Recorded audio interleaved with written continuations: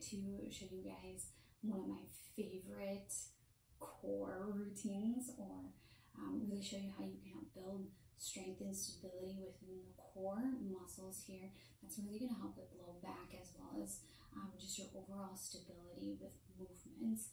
Um, so a few different things to really keep in mind here, right? Like we talked, we want to keep that really, really nice, beautiful, beautiful alignment from our head all the way to our tailbone.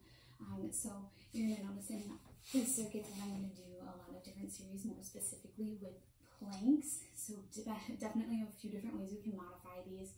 So you can utilize a wall, right? If you're using a wall, right, we're remembering that really, really strong straight line from tip of our head all the way down to our tailbone and all throughout our legs.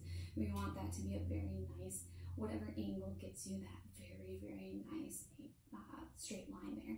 Um, doing that up against wall, you can utilize a table, a really stable table, um, countertop, something like that as well. That might give you a little bit more of that parallel to the floor, um, a nice progression there. Otherwise, you are more than welcome to do these um, in your typical hands on the floor or a forearm plank as well, right? Right on our forearms.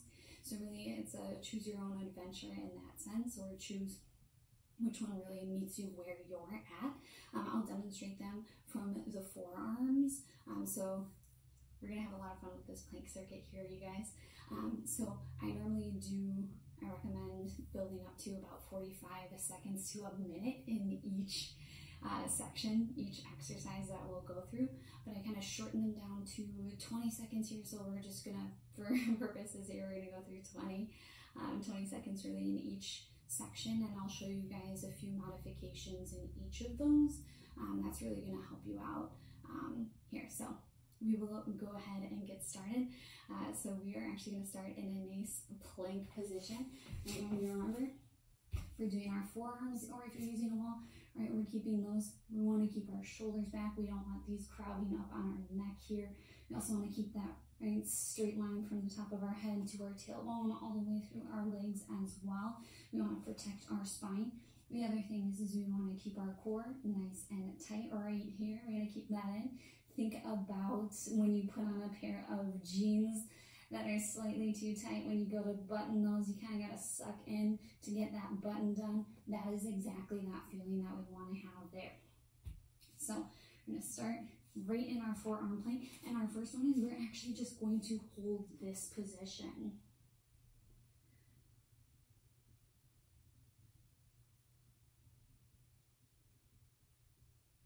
right? And we're keeping that very beautiful long spine throughout here, right? In our head, we're not craning this down, we're not craning this up, we're not going like this or staying away from this.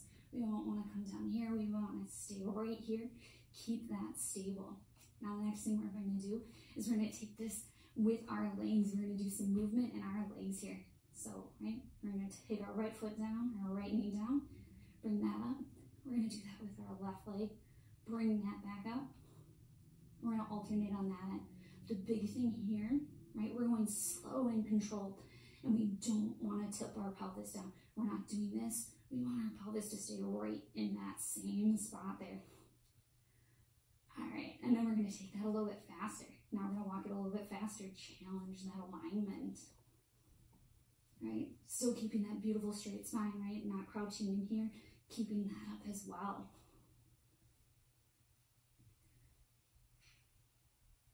Awesome. All right, now we're going to take this to a very beautiful plank. Hold our plank again. Nice, strong, stable. Right. Then we're going to take that to a side plank. We're going to turn and keep that right arm on the ground. We're going to keep our feet nice and stacked. Keep right here. We're going to put our hand on our hip, and we're going to lift right through here. Right, keeping this alignment still this way. Keeping our arm here option to really bring that foot in front of you if you need that extra stability. Bring that here. You can also keep that straight out in front of you as well here. A few options there.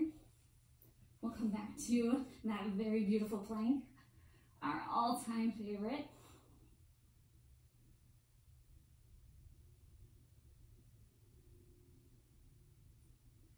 All right, and then we're gonna switch over to the opposite side here, right? The left arm is down.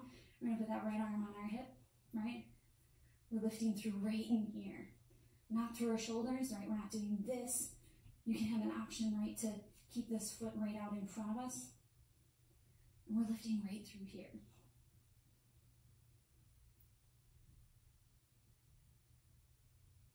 All right, and we'll bring that right back to our middle here.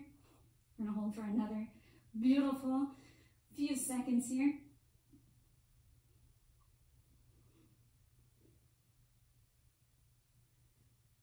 All right, and then we're gonna finish coming up to right onto our arms here, right onto our hands, I should say.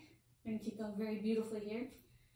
And we're gonna end with some very fun push-ups. So we're actually going to, you have a few options here. So you have the ability to come down, do one right like this, come back up. But what we're going to do here, right, otherwise you can do these. You can also do it right on the wall as well in that option here. But what we are going to do to finish this one out is we're gonna do down on one and we're gonna bring it up for three counts. So one, two, three, and four.